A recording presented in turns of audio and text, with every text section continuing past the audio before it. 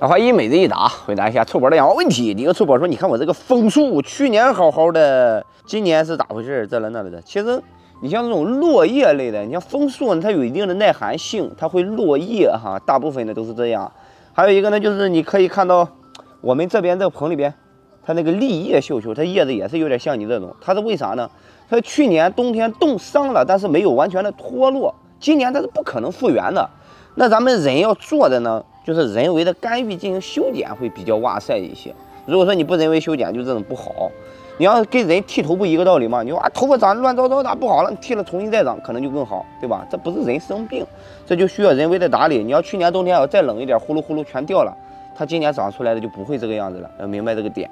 下个臭宝说三月份买的大发财树，他说这个肥料这了那了的，这个这个养的没毛病啊，然后给我发了点这个。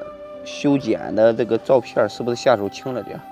你给我看看你剪完之后的灌幅啊！其实发财树可以剪，给大家的一个建议就是每年五月份给它剪一剪，剪一剪它帽子会长得更圆润更好。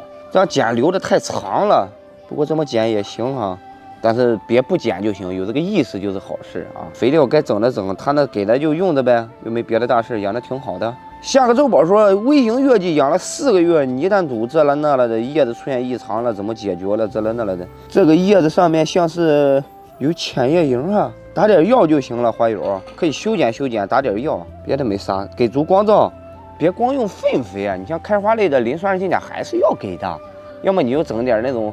呃，通用型的，就是氮磷钾都给，别单纯的光给一样肥料。好的话就单一元素。我跟臭宝说，你吃饭呀，吃了光吃馒头那也不行，你时间长了也是没劲儿啊。下个臭宝说，海棠叶子从边缘干了，这个是缺过水啊，缺过水。这个别的没什么大问题，你把表面的土给它挖出来。有话说了，万一你一看那个就知道缺过水这那的，为啥你又让它挖出来土这那的？它不是为了保湿吗？缺过水，咱这个盆儿你上面埋的厚，你再一浇一闷，它那个根系就发胀，发胀了就开始破水，你就很好理解。你泡的手啊脚啊，时间长了是不是容易破皮啊？一碰就坏，这个是一个道理。所以你把表面土挖出来，上面的不好的叶子剪一剪，用点杀菌药，你这样透气性好一点，浇水可以适当的多一点了，在室外，明白了吗？该给肥给肥，别的没啥事，好吧？用点杀菌药是把以前那个烂伤的那个处理一下。下周我说看我这个兰花有啥问题吗？就有点焦尖儿。你这兰花问题大了，首先用的土都不对。这个兰花是肉质气生根。你像你要去野外玩，你到了四川啊，或者是南方啊，你去森林里边、树林子里边转的时候，你看野生的蝴蝶兰、野生的兰花、野生的石斛，它们那个根啊，都基本上是暴露在空气外面，它就附着在那种，哎，什么朽木上啊，或者说有点小腐叶堆堆啊、岩石缝缝啊。它不是在大泥巴土里面，它这个它这个根不往土里长，你非得给它强行摁到土里边，它也长不好，明白了吗？要懂这个事儿。你的土不行啊，这个养护就是选土的问题了。你要真的想把兰花类的养好哈，资料不能省钱，腐熟的花生壳呀，发酵的松林树皮呀，一些个这种颗粒呀，都得用得上的，不是用这种大泥土就能把它养好的。你让我用用泥土养兰花，我也养不好。你按老话说，我我不想，我就想最便宜、最经济的那种养，那你就用沙子，就是稍微粗一点的沙子养。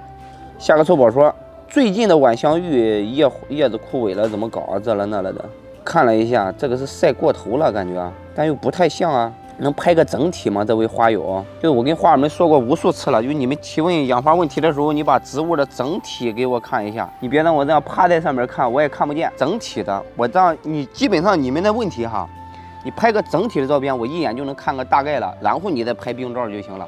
你这样让我也很难判断呀，我又看不到你那个整体的一个情况。你如果单纯让我从这个这一点点的叶子判断的话，就是晒伤的感觉，别的看不出来。而且我也没办法判断是不是下面的。如果说上面长得总体很好，你下面有几个黄叶，这个一点事没有。你现在结婚了，你说前面你那两个前女友哭了，或者他家里边有啥事了，还关你什么事啊？好了，有养花问题的臭宝呢，希望大家拍个完整清晰的照片。